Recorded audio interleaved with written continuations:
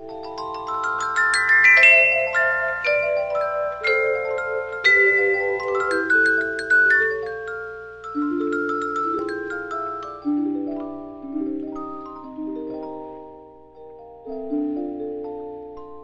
a beautiful day in this neighborhood. I was born at Civic Hospital.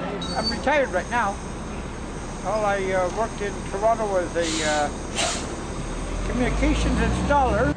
It's changed every day. We went from one place to another place. I even went down and worked down in Chicago for about six months.